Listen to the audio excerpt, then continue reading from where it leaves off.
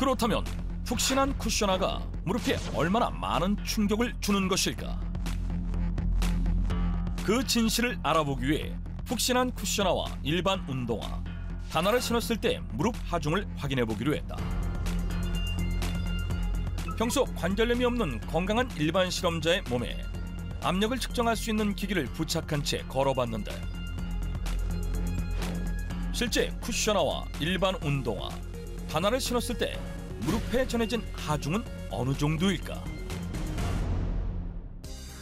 실험 결과 일반 운동화와 단화, 쿠셔나 미세한 차이는 있지만 비슷한 압력을 나타냈다. 쿠셔나가 더 안 좋다는 이남규 정형외과 전문의의 말과는 달리 눈에 띄는 차이를 찾아볼 수는 없었는데 대체 어떻게 된 것일까? 우리가 걸을 때 무릎에 실리는 하중은 체중의 3배에서 많게는 6배가 되거든요.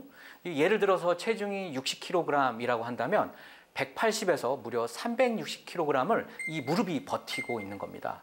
그래서 실험 결과를 보면 푹신한 쿠셔나를 신었을 때 약 15kg의 하중이 무릎에 더 실린다고 볼 수 있을 것 같습니다.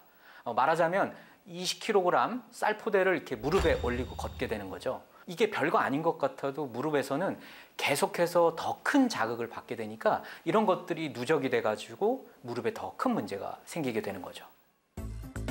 실제 미국 류머티즘 학회 연례위에서 발표된 연구 결과에 의하면 다른 신발에 비해 푹신한 쿠셔나를 신고 걸었을 때 무릎에 가해지는 충격이 가장 큰 것으로 나타났다. 그렇다면 관절염으로부터 무릎 관절을 보호하려면 어떤 신발을 신어야 하는 것일까?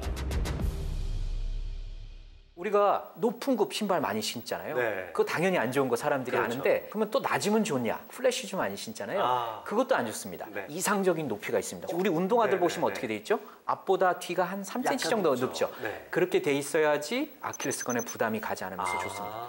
그리고 하나 또 보시면 너무 푹신푹신해도 안 되고 너무 딱딱해도 안 되고 본인의 발 상태에 맞춰서 적절하게 탄력이 있어서 아치를 지지해주는 깔창이 필요 당연히 필요하고요. 네, 네. 이 신발은 일반인뿐만 아니라 관절염 가지신 분들한테도 굉장히 중요한 요건이 됩니다. 아 그렇군요. 네. 때문에 앞부분은 유연하게 접혀 무릎 관절의 충격을 보호해주면서